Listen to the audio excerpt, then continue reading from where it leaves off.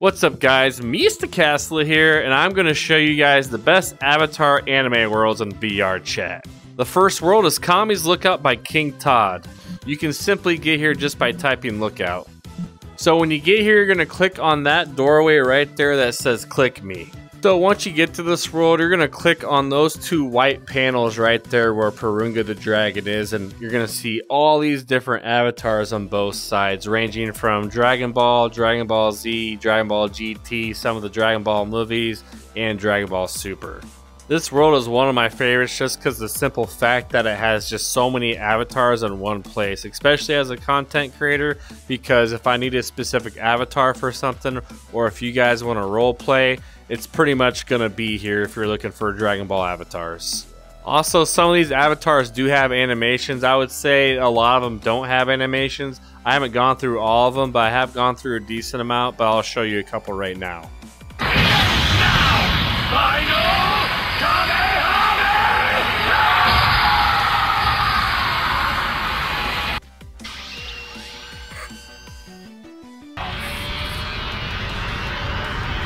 And by the way, that's not even all the avatars this world has. Watch what happens when I click this Dragon Ball. These two boxes pop up. First, we're going to click on this Naruto one. And as you can see, there's a crap ton more avatars in this world. Some of these avatars also have animations. And the avatars here are going to be ranging from OG Naruto to all the way up to Boruto. So if you're to need an avatar for a specific skit or, you know, RP or whatever you want to do, uh, you're pretty much to be able to find it here for Naruto. The last one we have is extra models here. I don't think there's necessarily any anime in there, but there's a lot of gaming avatars in there as well. And they got stuff ranging from Final Fantasy in here to Deadpool to Resident Evil, uh, Donkey Kong, uh, you know, a few other games as well. I forgot they actually have a couple Bleach avatars back here as well. And that's pretty much why this world by King Todd is pretty much one of the best in VR chat for anime. Let's go to the next world. But before that, have you ever actually wanted to have your own custom avatar that has like cool effects that you own that you can design yourself? My friend here, who I'm not even going to try to pronounce his name, basically makes custom avatars and VTubing models if you guys are interested. For example, this is one of his avatars. I'm going to show you what it can do real quick.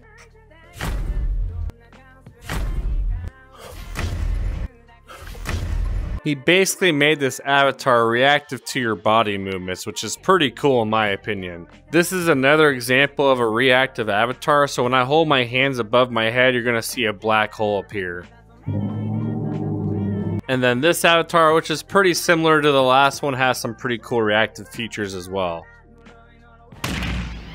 pretty much just a quick little showcase of my friend's work. Uh, I'm going to leave a pinned comment with his info. He uh, works on Fiverr, so if you guys want a custom avatar of your own, uh, you can use him if you guys want to. Next world is called A Thousand Sunny by VR Luffy. Uh, you can just get there by typing in Sunny.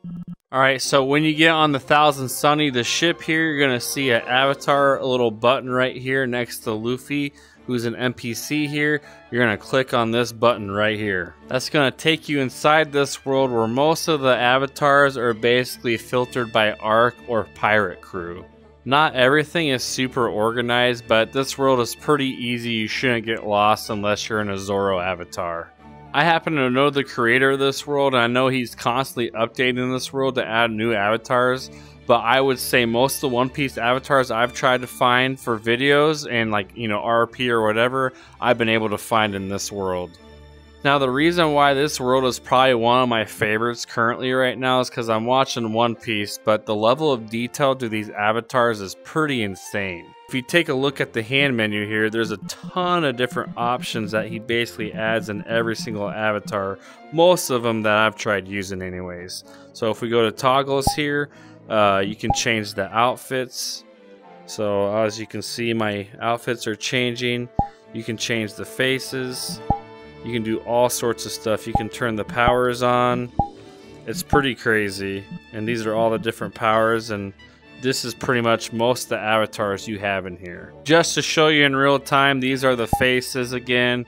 You know, we got the you know the meat eyes, we got the the sparkly eyes, uh, the regular eyes. We got the different outfits for the different arcs here. And my favorite thing about these avatars is the powers, which I'm going to show you right now.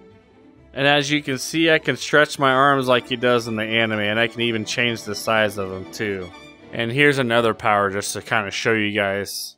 As long as it would take me to show you each and every avatar, and as much as I would like to do that, I'm going to end the video now. So do let me know down in the comments if this helped you find the avatars you were kind of looking for.